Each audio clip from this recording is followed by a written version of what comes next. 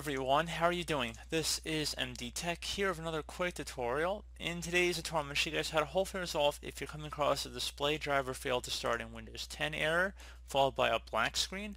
This should hopefully be a fairly straightforward tutorial and without further ado let's go ahead and jump right into it.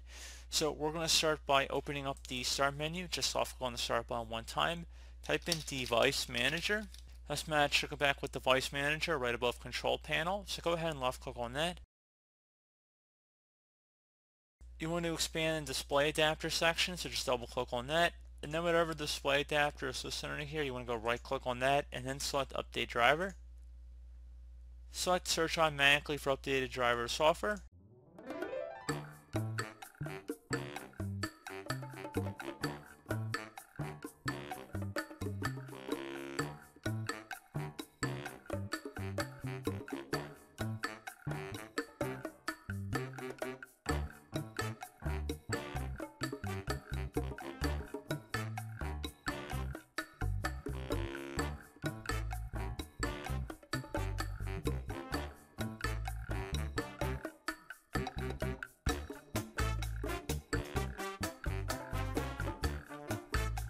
Once that's done, I would suggest closing out of here and restarting your computer and hopefully that would have been able to resolve your problem.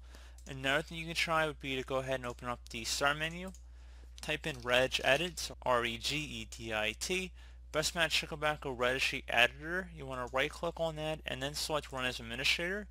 If you receive a user account control prompt, you want to left click on yes. Now before you proceed in the registry, I would highly suggest you create a backup of it. So if anything went wrong, you can easily restore it back. And in order to create the backup, it's very simple. Just go ahead and left click on the File tab, select Export. File name, I would suggest naming it the date in which you are making the backup. Export range should be selected to all and then save it to a convenient location on your computer and then just select the save option so very straightforward. And once you've done that we're ready to begin and that's going to start by expanding the HKey local machine folder. So either double click on it or left click on the arrow next to it to expand the drop down then you want to do the same thing for the system folder so expand system.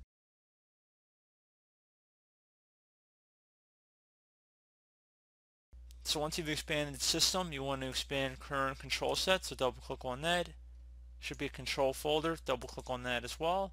And now finally there should be a graphics drivers folder so go ahead and just left click on that. Now on the right side you want to right click in a blank area select new and then select the D-word 32-bit value left click on that.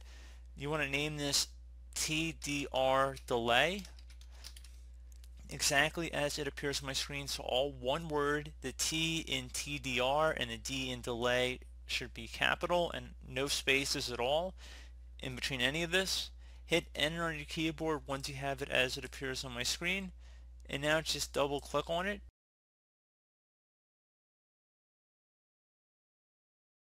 And in the value data field, type the number 5. So delete the 0, type 5, and then base should be hexadecimal. Left click on OK to save the change. Make sure it's numerical 5. Don't try and spell something out. Once you have that, you can close out of the registry editor. Would suggest restarting your computer and hopefully I should have been able to resolve your problem. So as always, thank you guys for watching this brief tutorial. I do hope I was able to help you out and I do look forward to catching you all in the next tutorial. Goodbye.